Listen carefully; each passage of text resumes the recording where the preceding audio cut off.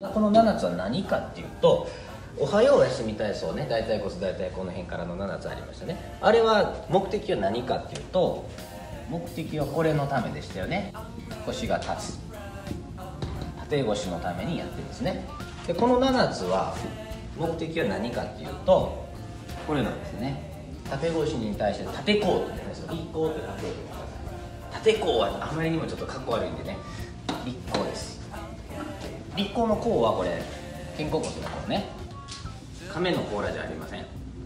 肩甲骨の甲を取ってます。立甲ってどういうことかっていうと 今立甲って流行ってるんですけどね。ネット立甲で検索したらいろんな人出てきちゃう時代になりました。ね、で要するに世間で言ってる立甲ってこう肩甲骨がビョンと出ると。これを立甲って言ってるんですけどこんなんどうでもいいんですよまず。どうでもいいの。じゃなくてこれ肩甲骨を正しい位置に戻そうっていうことなんですねこれも腰を正しい位置に戻そうでしょ？正しい位置にないんですよ。で肩甲骨が今の人大体どうなってるかっていうとこれ肩甲骨がどうなってるんです。ねこう見てる感じ。こうこうなってるんですね肩甲骨。がこう。上に上がってるし外に開いてるしこう。分かりやすく言うとこうなってるんですよ。肩甲骨が寝てるってことです。OK でこれを立甲に対して猫って見るわけ。縦腰に対して寝腰でしたね。で立甲に対して猫というですね。これをこうなってる肩甲骨をふっと戻していく。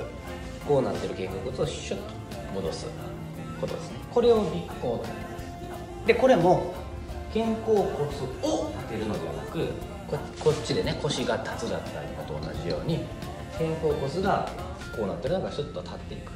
立つというのは地面に対してまっすぐ立っていくということです。になるための方法です。そのためにこの7つがあります。これを万人が達成するために困難が必要だということです。最後までご覧いただきありがとうございます。今日の動画を見て何か少しでも役に立ったとか面白かったとかありましたら是非いいねのボタンをよろしくお願いいたします。またチャンネル登録もよろしくお願いいたします。さらにお得な情報満載ですので腰の王子 LINE アットメルマガ登録ぜひよろしくお願いいたします。